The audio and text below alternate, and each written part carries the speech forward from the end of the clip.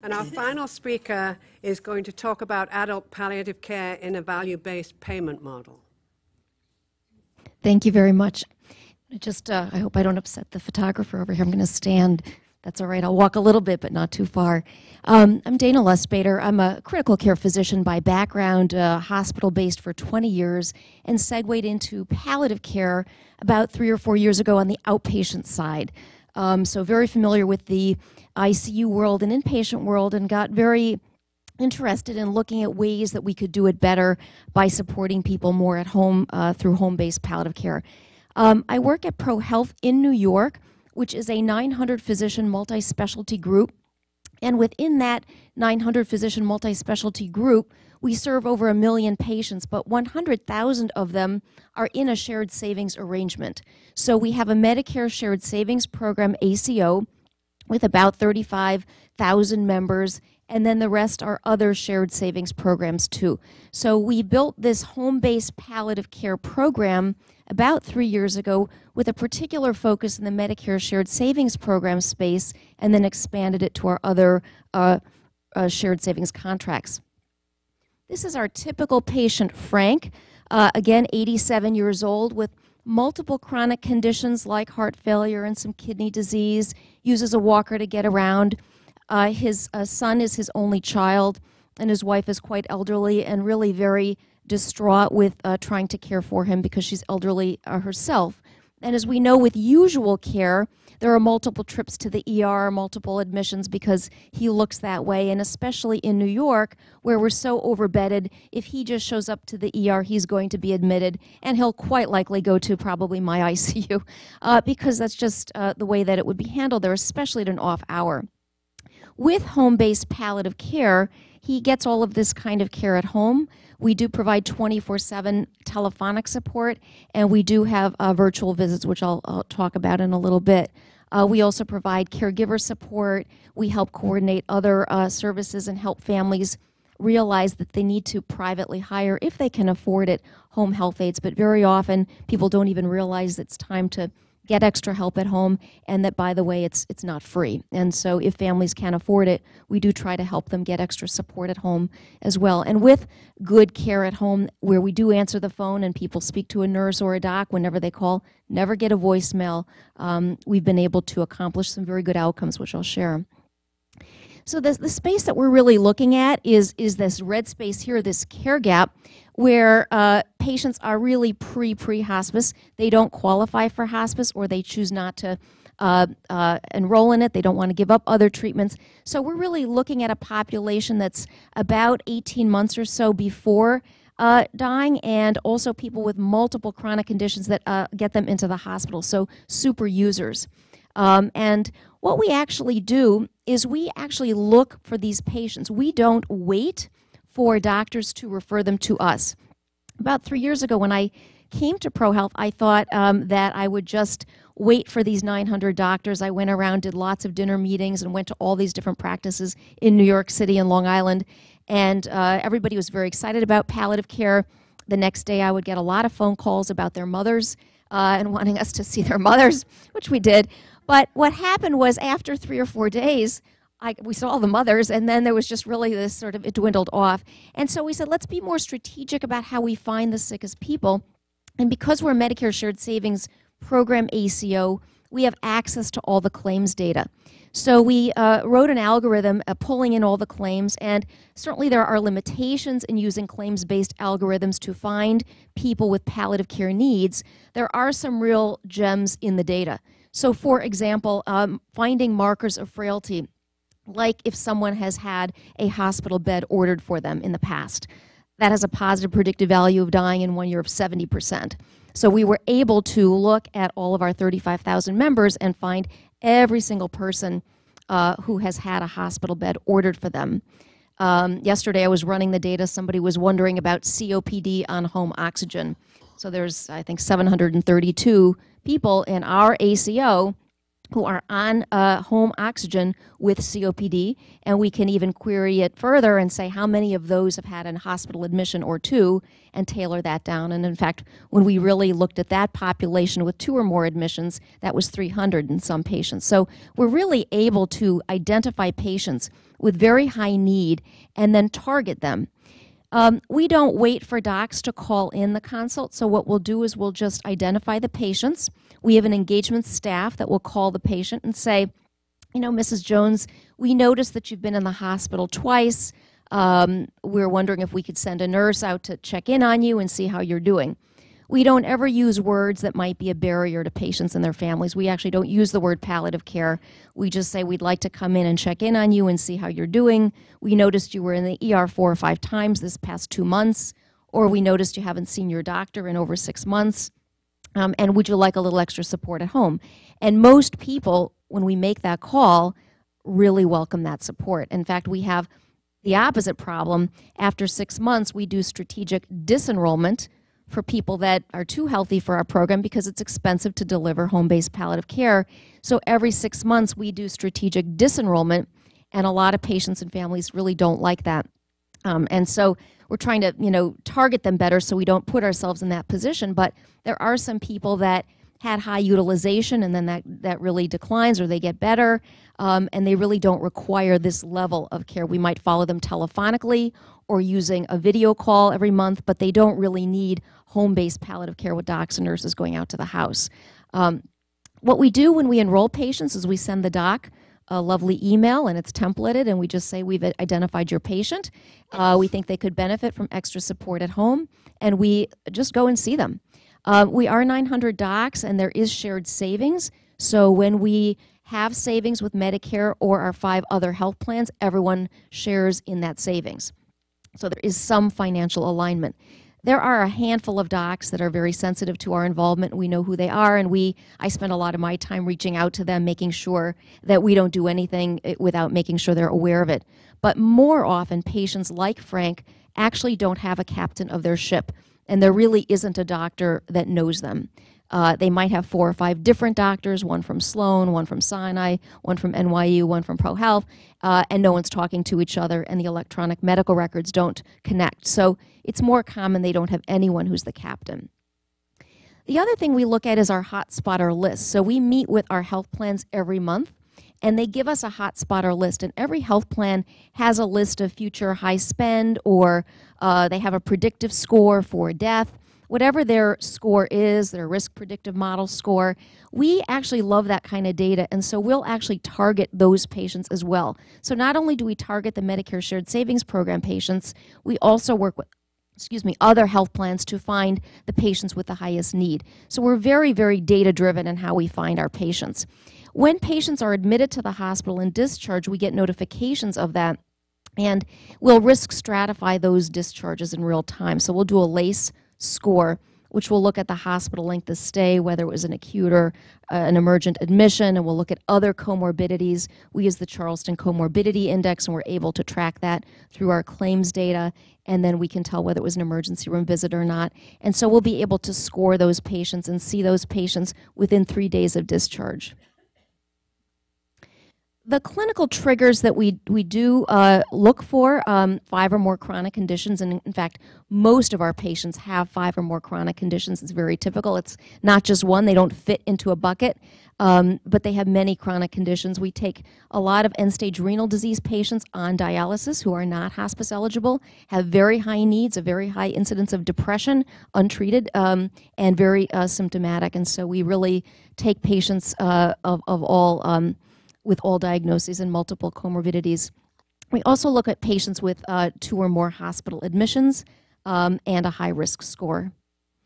Um, and this is sort of the demographic of, of, what it looks like by diagnoses. Again, primary diagnosis here. But one thing you'll notice, again, this is primarily a Medicare population. You'll see that cancer is really only 20%, and multiple chronic conditions is the other 80%.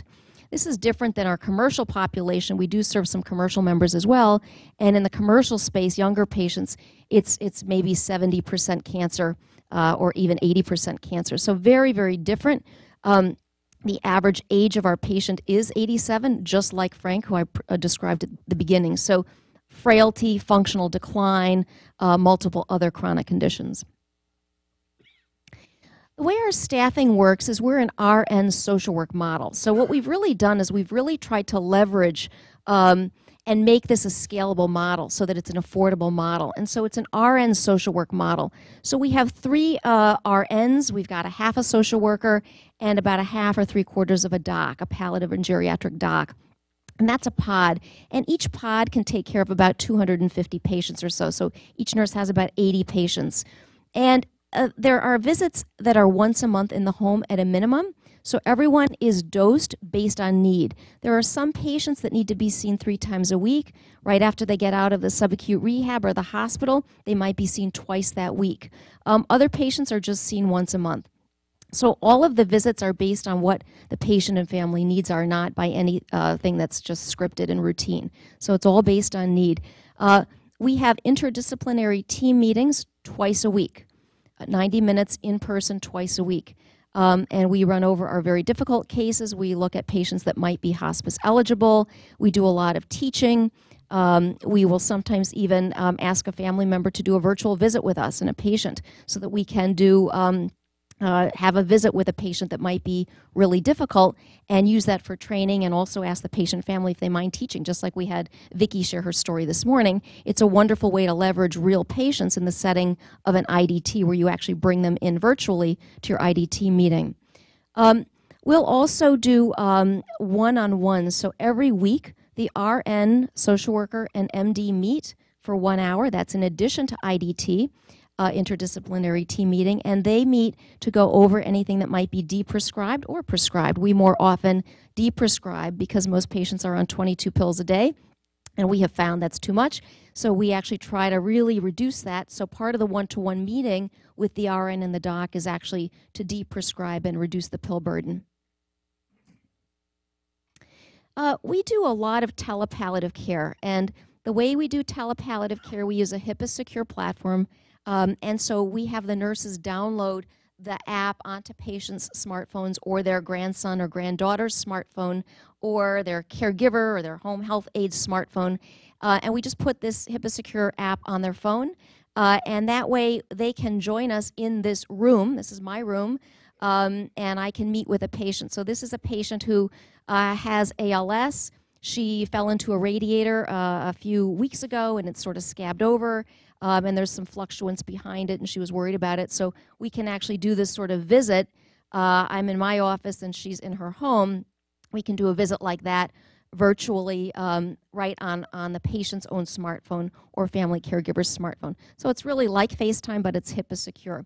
We also can use it for advanced care planning. So very often we have family meetings where the son is in Boston and the daughter's in France and the patient's in Queens um, and I might be in my office and the nurse is with the patient. So we can bring everyone together to discuss um, hospice enrollment or discuss a treatment plan that we're working on with the patient that day. So we can do advanced care planning, have a family meeting. We can bring in everybody at a time that's convenient for everybody into this virtual room. We also provide a lot of family caregiver support using a telepalliative care. So if the daughter who's caring for mom is really stressed, um, we can actually provide support. And by seeing what's going on and saying something like, you know, I see the comforter you have on your mom's bed. It's really beautiful. Um, and she just looks so clean and comfortable there. You know, you've done an amazing job. We're able to give really detailed and specific feedback because we're actually seeing that, yes, in fact, the patient's mother is beautifully kept and comfortable in that bed, and that is not easy. So really family caregivers uh, like this quite a bit. One of the barriers to it is it, it is a little hard for elderly people to figure out how to download an app, remember their iTunes password or all of that sort of stuff. So it is somewhat of a barrier when folks have to do this onto their phone. But once it's on their phone, people really do like it and are able to reach us. And we do provide 24-7 coverage. And so very often on the weekends, we will see patients this way and save them from going to the ER. Um, the, the picture that you see on the left is our team meeting. So uh, this can hold, I think, up to 50 people in the room. We have about 25 people on our team. So every Monday morning, we do a Good Morning Monday call, and we review everybody that's called in over the weekend. So we can deploy everybody Monday uh, and rearrange schedules based on needs. Who needs visits on Monday morning based on who called in over the weekend. So this is our team meeting, and whoever is speaking, their face floats to the top. And that's what it would look like too if you're doing a family meeting. The one in the middle um, is a patient that we uh, got right off a Medicare Advantage hotspotter list. Uh, and we have a shared savings with this particular health plan. Uh, and we now actually serve this health plan for a per member per month rate. So they pay us a bundle payment to serve their high risk patients in Queens, Nassau, Suffolk. Uh, we're expanding also into other parts of New York City as well. Um, but we serve them on a flat rate. So we're not on that hamster wheel where the more we do, the more we bill. We just get a flat rate to deliver the care. And interestingly, we've been with this health plan now three years. I was disenrolling patients every six months as I would ordinarily do if patients don't have high need or have been in the ER, and they, they wouldn't allow us to disenroll anyone because the savings were so high. So we had to keep them. And then the third patient here is just a routine visit, uh, and we do these routine visits every month. She just throws the phone right down on her wheelchair, and we have a visit that way. Um, what are the outcomes of a program like this? So we published this in January, and what you can see in Medicare Shared Savings Program, ACO, where we have access to all the claims data and true total cost of care. So we have access to the true total cost, which includes hospice, home health, all Part A. It's not carved out like Medicare Advantage. We were able to show that people who got home-based palliative care cost $12,000 less than a control group and we used a greedy match to find an exact match to the control group on 22 other parameters. It's done by actuaries at Optum, so it's a very rigorous study. We've expanded this study, and we also see at least a $2,000 per enrolled member per month savings for those that do not die. So there's savings in patients that don't die as well as those that do. Um, particularly strong savings, as you would imagine, in the final three months of life, and that's where the, the bulk of that savings is, but it's quite pronounced. Um, uh, you can see here on the blue line uh, is um, the home-based palliative care folks, and the red line uh, is um, usual care, and you can see what happens with the expenditure, primarily because people get very symptomatic at end of life and they go to the hospital for treatment of their terminal symptoms. And people, of course, would much rather be at home, and so when we prevent those final hospital admissions in the final couple of months of life, people spend more days at home, and it costs less. Uh, where do people die when they're in our program? Well, interestingly, in New York, where we are, only 25% of people who get usual care get to die at home. Enrolled in our program in home based palliative care over the past three years, 85% of people who die are um, at home. About two thirds of the patients who die are with hospice, and the other one third are with us. And the ones that stay with us are the ones that have chosen or are not eligible for hospice. They might have dementia and the dwindles and don't really qualify, or they've chosen not to give up dialysis or chemotherapy. And so they still get to die at home uh, and they don't have to um, go to the hospital for those symptoms. But we do utilize and partner with hospices in New York. Also, people who are enrolled in hospice from our program have a median length of stay of 34 days compared to seven days in New York and Long Island, which is the median currently. So um, it's a much longer length of stay when they are enrolled. Um, how can we really help people? Well, you know, certainly I think fee for service is uh, an enemy to good palliative care. It just drives the churn and it rewards excessive care. Um, and I think new payment models, alternative payment models that reward team based care, care that includes nurses, social workers, and docs, 24 7 availability as well as tending to psychosocial needs. So innovative models of, of payment are really critical um, and would allow us to deliver the kind of care people need, which is that 24-7 care, and primarily with a focus of care at home.